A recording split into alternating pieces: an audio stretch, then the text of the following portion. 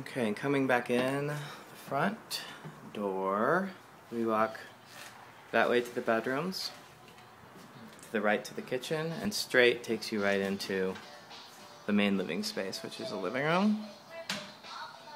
There's, this is where we would put our big picnic table, dining room table.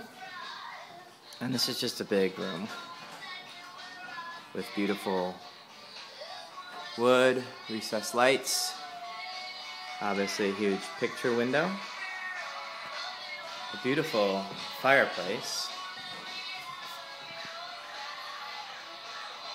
Uh, awesome built-ins. And this flips down to be like a desk. Some great bookshelves. A uh, big mirror. Hi.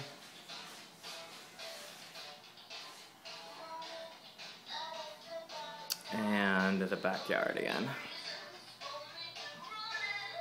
So then there's a door to the backyard right there. And that's where our dining picnic table would be. And that concludes our tour.